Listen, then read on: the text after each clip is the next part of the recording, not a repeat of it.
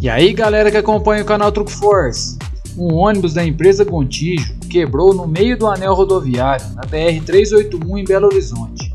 Segundo informações, ele ficou bastante tempo na pista do meio e posteriormente foi removido para o acostamento. Por sorte não houve nenhum acidente. Canal Truck Force, o canal dos caminhões.